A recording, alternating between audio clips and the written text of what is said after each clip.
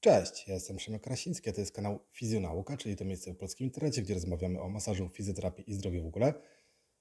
A dzisiejszy materiał będzie dość specyficzny, ponieważ pokażę Wam to, nad czym pracuję, a pracuję nad opracowaniem egzaminów teoretycznych dla techników masażystów. I w ten sposób, jaki tutaj będzie pokazany, to będzie 15 minut y, z jednego z filmów. W ten sposób opracowuję każdy jeden egzamin od czerwca 2014 roku E, więc możecie zobaczyć, jak to wygląda. Jeżeli jesteście zainteresowani dostępem do takiego egzaminu, możecie wejść na stronę fizjonauka.pl albo na mojego Facebooka, tam będzie więcej szczegółów. No a teraz nie przedłużam wstępu i zobaczcie, jak wygląda część egzaminu z czerwca 2014 roku. Zadanie dziewiąte. Jaka jest zasada przestrzegania kierunku ruchu podczas wykonywania masażu klasycznego klatki piersiowej? A. Od mostka do linii pachowych i od linii pachowych do mostka. B. Od mostka do linii pachowych i od obojczyków do łuków żebrowych. C. Od łuków żebrowych do obojczyka i od mostka do linii pachowych. Czy wreszcie D.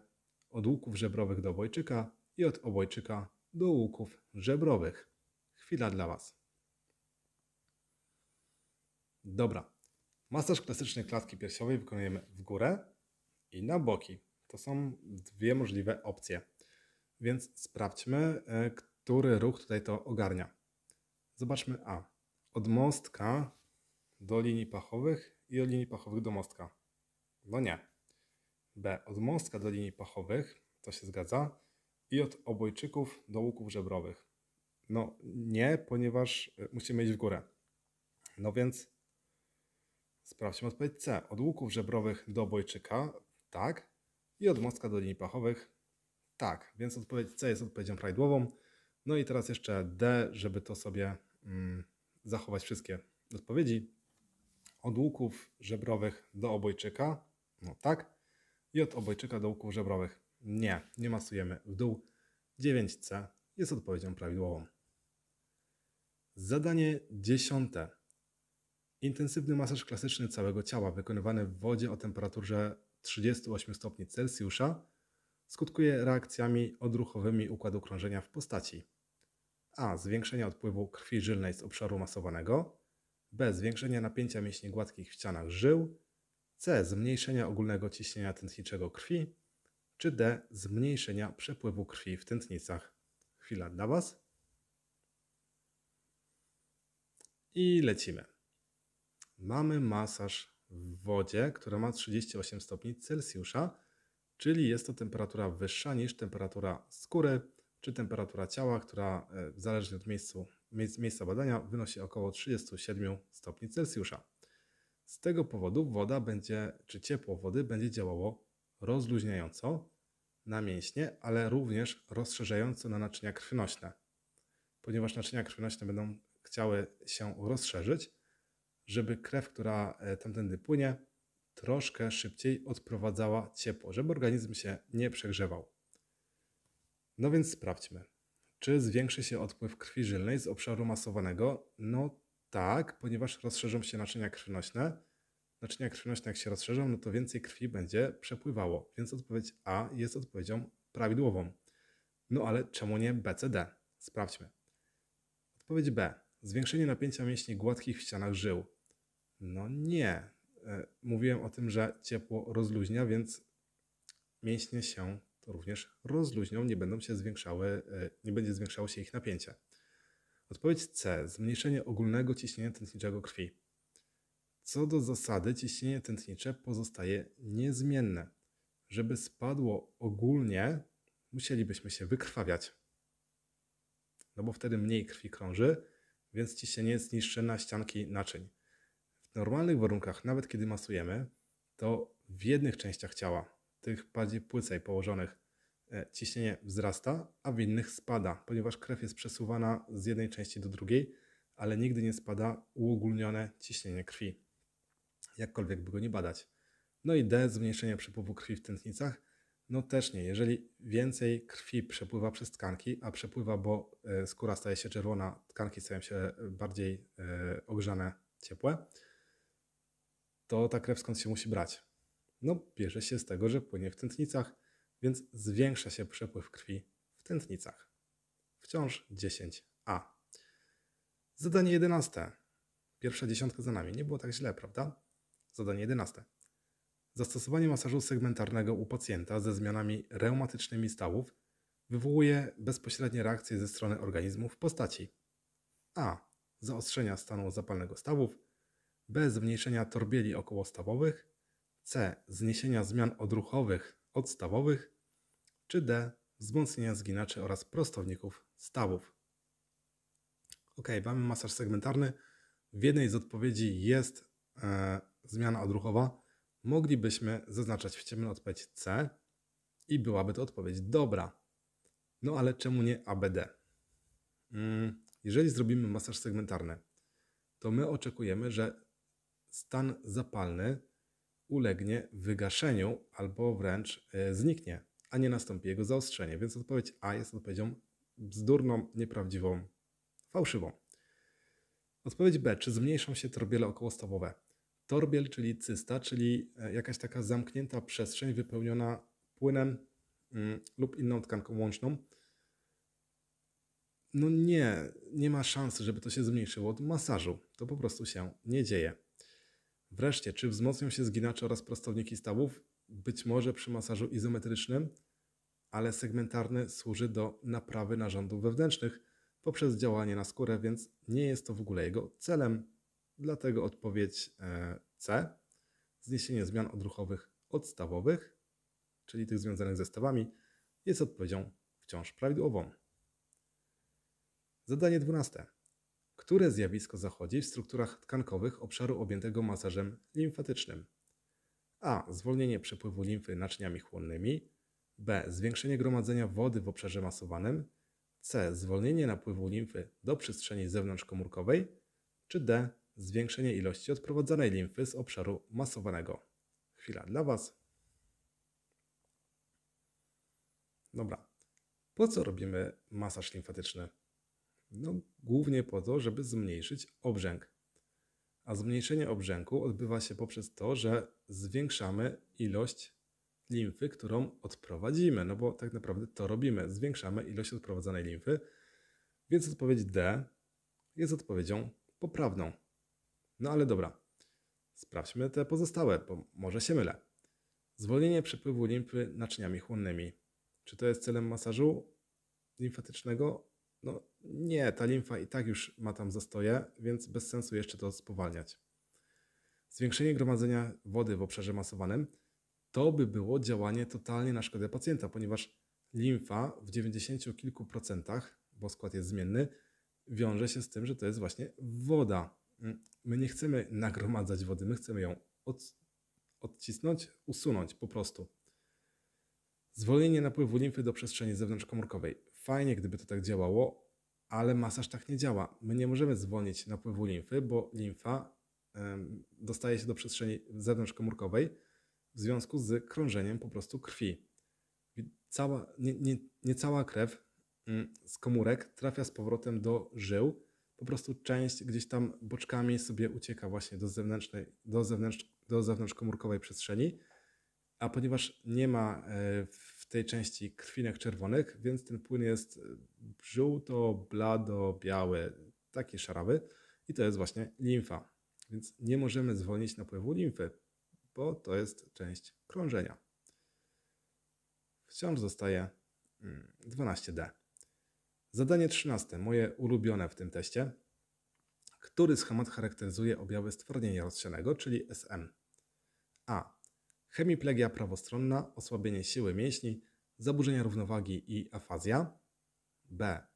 Drżenie spoczynkowe kończyn i głowy, osłabienie siły i sztywności mięśni, zaburzenia lokomocji i zaburzenia mowy. C. Parestezje i osłabienie siły mięśni, zaburzenia wzroku, mowa skandowana i chłód z powłóczeniem kończyny. Czy wreszcie D. Zwyrodnienie tętnic, zwężenie tętnic, zaburzenia lokomocji i ból spoczynkowy kończyn. Chwila dla Was. Jest to ulubione moje pytanie, ponieważ ja od 4 e, czy 5 lat pracuję głównie z chorymi na SM, więc dosyć dobrze kojarzę objawy. Jest dużo trudnych, e, trudnych słów tutaj, więc Odwijmy je po kolei. Hemiplegia to porażenie strony. Tutaj jest hemiplegia prawostronna, to znaczy, że prawa kończyna mm, górna i prawa kończyna dolna są niedowładne albo porażone.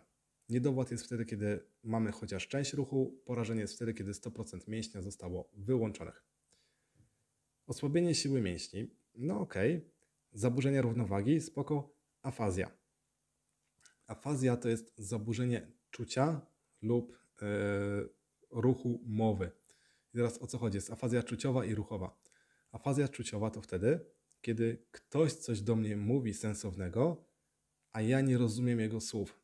W sensie słyszę je, to nie jest zaburzenie słuchu, ale nie umiem tego przetworzyć w mózgu na jakąś e, całość. Afazja ruchowa jest wtedy, kiedy mi się wydaje, że mówię prawidłowo, ale tak nie jest. Mylę słowa albo bełkoczę i bardzo często afazję ruchową ja widzę u moich słuchaczy, których o coś pytam. Po prostu jest nagle yy, nie wiedzą co powiedzieć. To jest akurat stres, ale takie objawy, które tutaj są wymienione w punkcie A, to są objawy udaru lewej półkuli mózgu. Dlatego, że pola y, odpowiadające za rozumienie i werbalizację mowy są w lewej półkuli mózgu. Lewa półkula mózgu, jeżeli zostanie uszkodzona, mamy objawy po stronie prawej, stąd hemiplegia prawostronna, więc jeszcze raz jest to udar lewej półkuli mózgu. A pytanie było o SM, więc odpowiedź A odpada. Odpowiedź B. Drżenie, sztywność mięśni, zaburzenia lokomocji, zaburzenia wymowy to są standardowe objawy choroby Parkinsona. W ogóle triadą, czyli trzema najważniejszymi objawami w parkinsonizmie jest drżenie spoczynkowe, sztywność mięśni i bradykineza, czyli spowolnienie ruchowe i z tych objawów biorą się pozostałe zaburzenia. Więc parkinsonizm albo choroba Parkinsona, a nas pytają o SM. No i sprawdźmy odpowiedź C. Lećmy po kolei. Parestezję, czyli takie uczucie mrówek, drętwienia e, czy wibracji w kończynach, e, czy w ogóle na skórze. Parestezje to zaburzenia czucia. I osłabienie siły mięśni. Zaburzenia wzroku, mowa skandowana i chód z powłóczeniem kończyny. Jak najbardziej pasuje do SM. Ale czemu zaburzenia wzroku? Ponieważ bardzo często mm, wyprzedzają one o wiele nawet lat pozostałe objawy związane z uszkodzeniem mięśni czy z osłabieniem siły mięśniowej. No ale dobra, to w takim razie czym jest D? Czyli zwyrodnienie tętnic, zwężenie tętnic, zaburzenie lokomocji i ból spoczynkowy kończyn. Wydaje mi się, że jest to zakrzepowo-zarostowe zapalenie naczyń. Więc choroba kardiologiczna w przeciwieństwie do pozostałych, bo ABC to są choroby neurologiczne. SM to odpowiedź C. Lecimy z zadaniem 14. Który zestaw zabiegów należy zastosować u pacjenta z astmą oskrzylową w okresie zaostrzenia objawów choroby? A. Inhalacje, ćwiczenia oddechowe, ciepłe kąpiele kończyn. B. Inhalacje, ćwiczenia oddechowe, masaż klasyczny kończyn. C. Masaż klasyczny kończyn, inhalacje, sprężynowanie klatki piersiowej. D. Masaż segmentarny grzbietu, inhalacje, sprężynowanie klatki piersiowej. Chwila dla Was. Dobra. Mamy astmę oskrzylową w okresie zaostrzenia objawów chorobowych, więc mamy stan ostry, więc wszystkie masaże odpadają. Więc zostaje nam odpowiedź A. Inhalacje, ćwiczenia oddechowe, i ciepłe kąpiele kończyn. Ale czemu ciepłe kąpiele kończyn miałyby być skuteczne na astmę? Dlatego, że rozluźniają się mięśnie. A mięśnie, które by bardzo się przydały astmatykom, to mięśnie oddechowe.